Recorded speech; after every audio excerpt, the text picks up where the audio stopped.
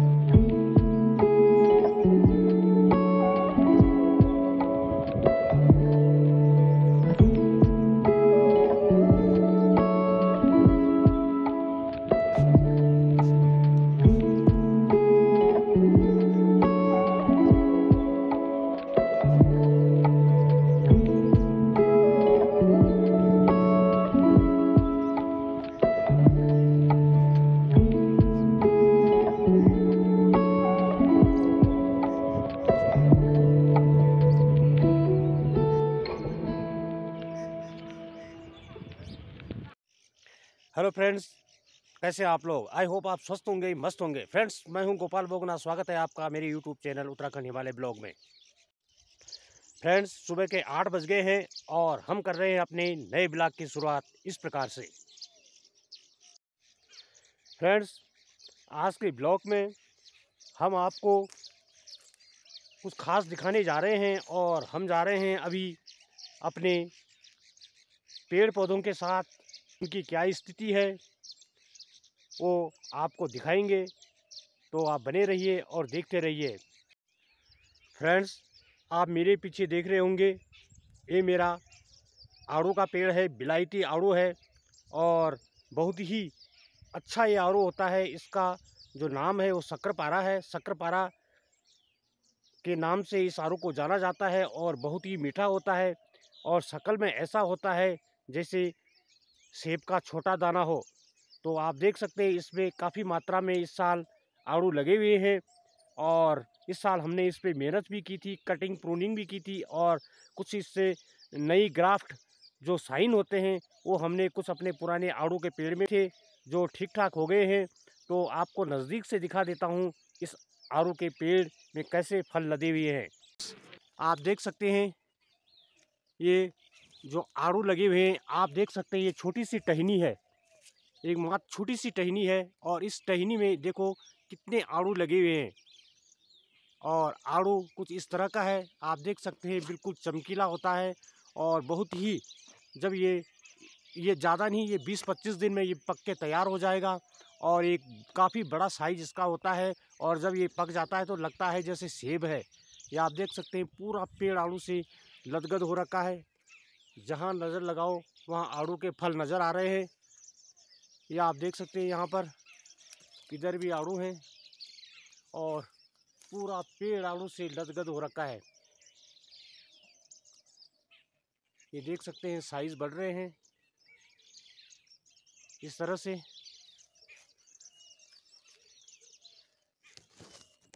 और तकरीबन इसमें मेरा जो अनुमान है इस पर एक कुंटल आलू आने की संभावना है, जिस तरह से ये फल लगे हुए हैं।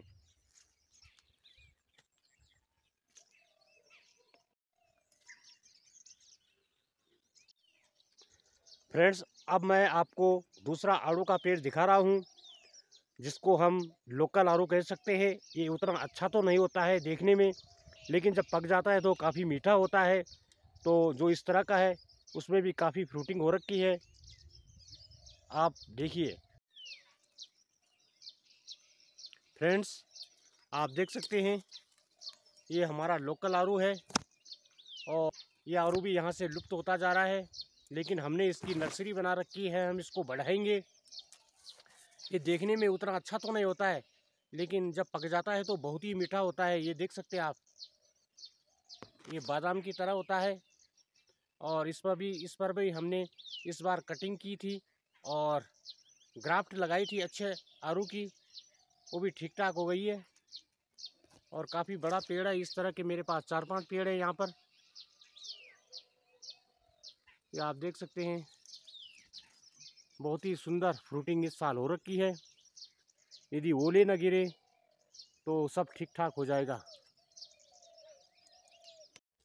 फ्रेंड्स अब मैं आपको बता रहा हूँ, चुल्लू का पेड़ जो हमारे यहाँ उत्तराखंड के जो पर्वतीय क्षेत्र है, वहाँ पे बहुत ज़्यादा मात्रा में उगते हैं और चुल्लू की भी यहाँ पर तकरीबन सात से आठ वैरायटियाँ होती हैं। अलग अलग किस्म की ये जो पेड़ मैं आपको दिखा रहा हूँ, ये काफ़ी बड़ा पेड़ है और इसमें भी काफ़ी चुल्लू लगते हैं।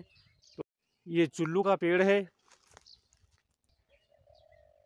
काफ़ी बड़ा पेड़ है और यहाँ पर अपने आप ही ये उगा हुआ है, किसी ने इसको लगाया नहीं है। और ये देख सकते हैं इसमें, ये चुल्लू लगने प्रारंभ हो गए हैं। ये चुल्लू काफ़ी मात्रा में फ्रूटिंग हो रखी है। ये बिल्कुल मैं आपको नज़दीक से दिखा रहा हूँ।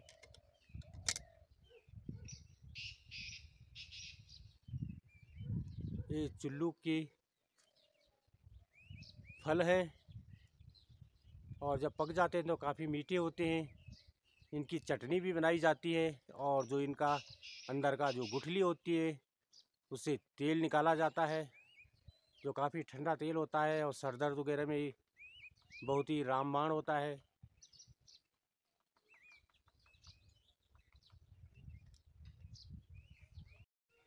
तो फ्रेंड्स, अब हम अपने घर पे आ गए हैं और यहाँ पे हमारी मिसेस अनीता देवी जी आज कुछ सफ़ाई का काम कर रही थी, क्योंकि आज संडे है।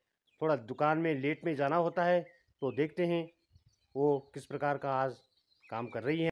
तो फ्रेंड्स, ये हैं मिसेस अनिता जी और यहाँ पर आप देख सकते हैं, ये आज ये हमारी जो दीवार है ठीक मकान के पीछे, ये पत्थर की दीवार आप देख सकते हैं और इस पर ये जो, ये पौधे हैं, ये खुद ही उगाते हैं, ये जंगली पौधे होते हैं, इसको यहाँ पे अमेरला बोलते हैं और अमेरला ये इसको, ये मेडिसिन प्लांट भी है, क्योंकि कहीं यदि हाथ हूथ कट जाए तो इसको अच्छी तरह से इनके पत्तों को जो पत्ते होते हैं, ये इनको अच्छी तरह से इनको कूट के फिर इनका जो रस होता है, यदि कटे हुए स्थान पे लगा दिया जाता है तो खून उससे एकदम रुक जाता है।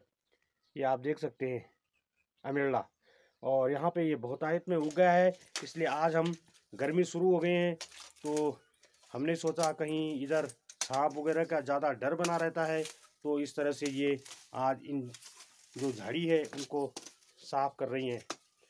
और ये पूरी दीवार में, आप देख सकते हैं इस तरफ़, पूरी दीवार में ये उगा हुआ है। और क्योंकि इसकी जड़ें ये पत्थरों के अंदर तक घुस जाती है तो इसको निकालना बड़ा मुश्किल होता है। तो इसको हम, ये फिर उगाता है, फिर हम काट लेते हैं, फिर उगाता है, फिर हम काट लेते हैं।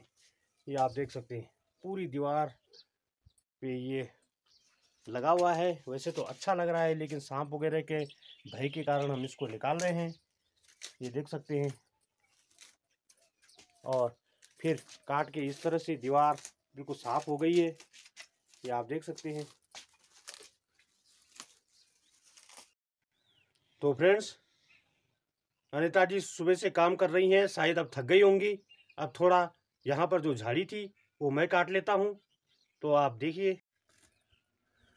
तो फ्रेंड्स, इस तरह से मैं, ये मैंने द्रांति ले ली हाथ में और उसके बाद मैं यहाँ पर इस तरह से झाड़ी काट रहा हूँ। आप देख सकते हैं इस तरह से।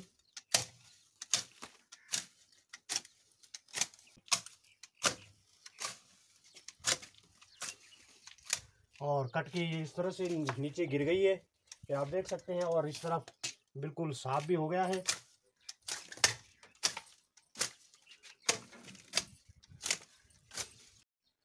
फ्रेंड्स आप देख सकते हैं, ये दीवार पूरी अब साफ़ हो गई है और अब थोड़ा इस कोने पे रहा हुआ है, वो भी हम काट लेंगे और इस तरह से बिल्कुल क्लियर हो गई अब अच्छी भी लग रही है। ये देख सकते हैं। तो फ्रेंड्स आज के ब्लॉग में इतना ही। ब्लॉग अच्छा लगे तो कमेंट ज़रूर करना शेयर करना और जो हमारे नए साथी हमसे जुड़ रहे हैं, वो सब्सक्राइब ज़रूर ज़रूर करना। तो कल फिर मिलते हैं एक नए वीडियो के साथ। तब तक के लिए सादर प्रणाम, जय उत्तराखंड।